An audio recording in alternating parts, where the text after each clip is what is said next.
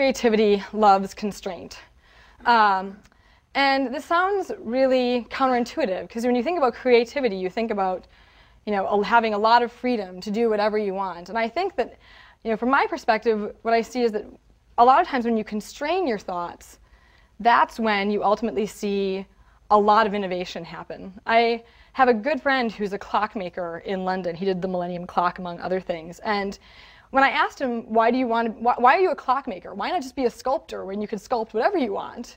His answer was that when he was in art class in, you know, as, a, as a student, he preferred to start on paper that had a mark on it already.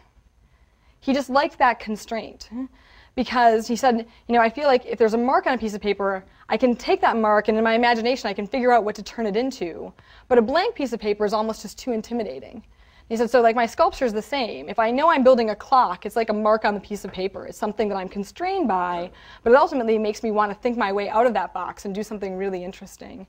And I think you see the same thing happen inside of product development and inside of innovation. A lot of times it's when you say, okay, Google Desktop Search, we want it to run on 90% of computers. So, you know, it can't have a memory footprint larger than 8 megs, and it can't take more than this amount of disk. And what can we do with that? How, how will the files need to be stored? You know, what kind of data will we be able to search?